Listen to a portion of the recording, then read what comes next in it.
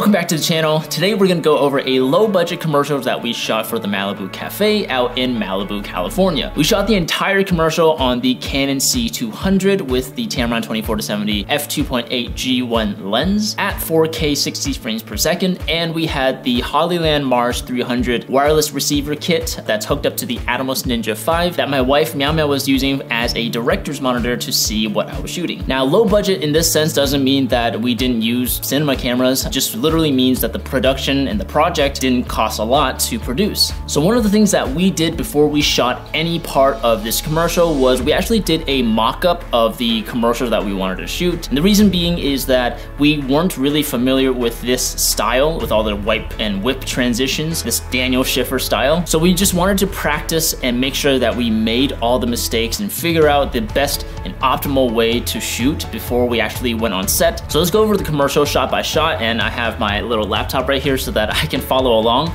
with you guys and explain, you know, the lighting technique, any movement in the camera or like what lenses I'm using. So let's go ahead and start by looking at the first shot. So the opening shot is just our actress walking through this beautiful canopy of plants. And before we had our actress do any actions, Meow Meow and I actually scouted the location to find the best angle and light and to practice the movements and to see just how the shot would look like. And you wanna do this before you have your talent stand in so that you avoid having them stand around for too long. The canopy of leaves provided us with a really nice soft diffusion from the sunlight and because it's just leaves, it created some really cool patterning on the right side of the frame where pockets of sunlight would come through and hit the actress on the arm and on the ground. We didn't need to use any bounce or extra lights. There's just a lot of light that was already coming in. For this opening shot, we filmed it a couple different ways. We had a version that ended up in a swipe up transition and we had a second one that was a swipe down transition. We weren't really entirely sure on set what the final edit was gonna look like, so we did both just in case we wanted to use either one.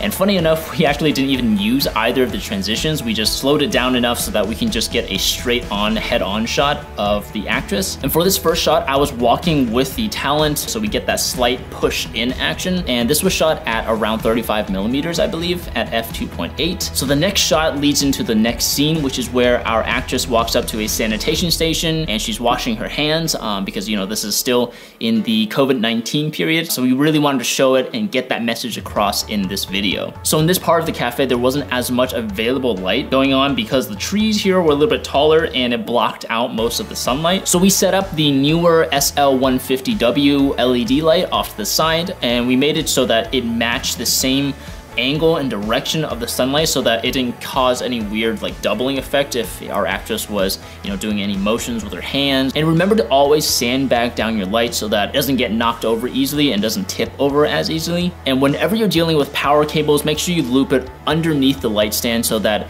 in case anybody trips over it, it pulls the entire light, the light stand, and the sandbag, and it doesn't get knocked over as easily. So that's how I lit this scene. It's literally just one light off to the side. You can see it on the left side on her her hair that there's, you know, a little bit of shimmer. It really helps fill up and brighten up the shot a lot. And the first shot of this whole scene was a medium wide shot and it's a push in where again, I'm following our actress from behind and I'm just walking with her as she's walking forward. And this was shot at the 35 millimeter focal length. And in post, we did what's known as a match cut where the subject in the first and second shot are in relatively the same position so that when you cut them back to back, it looks like all that's changing is the background. And it's a great way to quickly take the audience from one scene to the next or like from one location to the next. And for these next few shots at the sanitation station, I shot it at the 70 millimeter focal length and I didn't use any fancy camera movements. I was literally just, moving side to side and walking around the actress as she was doing the emotions and the actions. And in the last shot, I do a swipe down transition and that takes us right into the next scene. So scene number three is where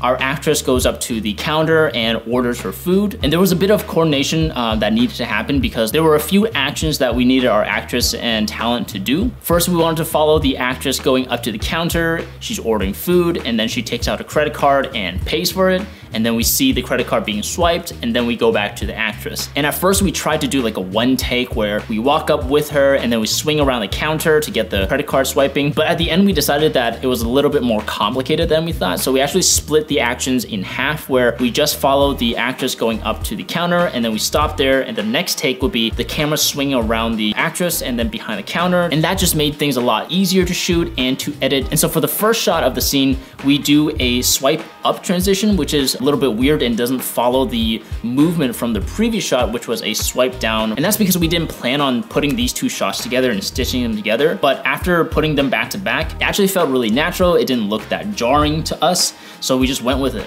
We just kept it in. And so to connect the two halves of the scene together, in Premiere, I just masked out her side of the arm and we just did a wipe transition to the next shot and then it goes behind the counter and we see the credit card swipe. And as we're going back to the counter, I also masked out the edge of that counter so that we just transition into the next scene. Moving on to the next scene, we are at the cafe bar and we wanted to show our actress grabbing a drink. And for the bar, we wanted to backlight the action. So we put the 150W on the corner of the bar since that's roughly where the sunlight was falling. It was actually falling a little bit more uh, forward, but um, we wanted to fake it and make it seem like the sunlight was coming in from the back and backlighting the whole action. Now, as we transition out of the uh, ordering the food and the counter, uh, we go into the first shot, which is where the bartender is pouring the pineapple juice in the glass, and that's just simply a dolly left and right. I was just holding the camera handheld and I was just going like this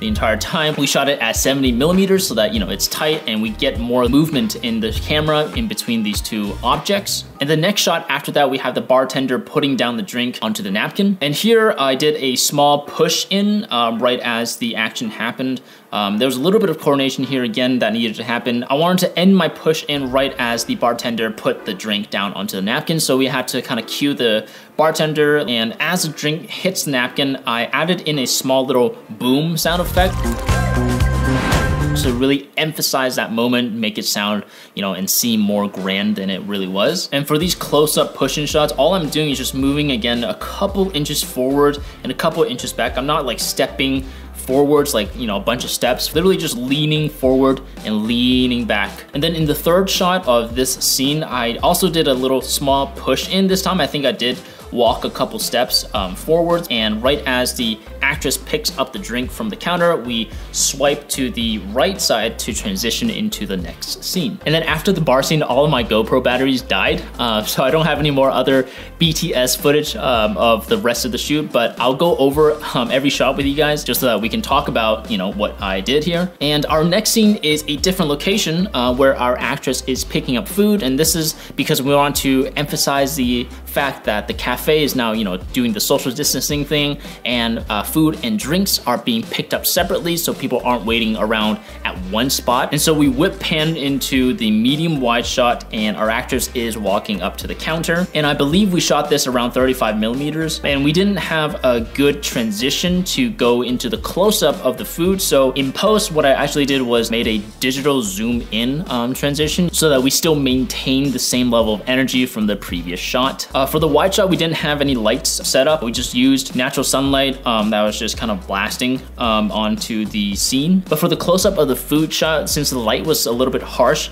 I had Meow Meow hold up the diffuser so that we could get that soft diffused light um, hitting onto the food. And you don't actually notice the difference in the lighting um, if I flip back and forth between the wide shot and the close-up because the food wasn't super obvious in the wide shot. That's why you don't really notice the change in the difference in light. And again, for this close-up of the food shot, we did a slight push as the server was pushing the food towards the camera. So we get that nice like dual action going on. And then the last shot of the scene is where our actress is picking up the food and we swipe the camera down to transition into our last scene. And in the final scene of the commercial, we have our actress enjoying the food and the drinks and she's playing around with a dog. The cafe is very dog friendly friendly, so they wanted to show that off in the video too. And luckily, the dog is a very good boy uh, and was very well behaved and wasn't barking at all uh, when we were shooting with him. And in the wide shot, we didn't have any lights for this scene. We just maybe had a bounce off to the right side and just kind of filling in some of the shadows. Luckily, the sun was starting to set and there were a lot of tall trees that were blocking the sunlight. And so that way we kept our talent in even lighting while keeping some interesting light patterns going on in the background. And in the next shot, our actress is raising her glass towards the camera. And this was actually something we didn't plan on shooting, but our producer was like, hey, what if, you know, we got this shot, it might be cool to have in the final video.